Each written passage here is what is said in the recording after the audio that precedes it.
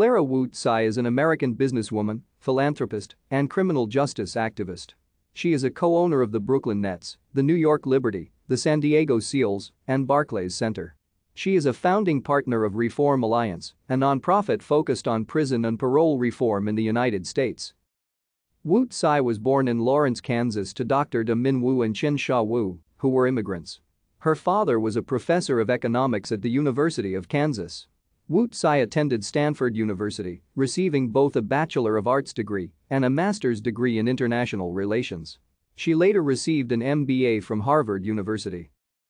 Wu Tsai was a senior manager and vice president in the business analysis unit of the finance group at American Express. Wu Tsai also worked for Taobao Hong Kong. Wu Tsai was a founding partner of Reform Alliance and sits on the board of directors. In January 2019, Wu Tsai and her husband, Joseph Tsai, purchased the Brooklyn Nets from Mikhail Prokhorov. Wu Tsai and her husband started a foundation, the Joe and Clara Tsai Foundation. Thank you for watching. Like and subscribe if you would like to view more of our videos. Have a nice day.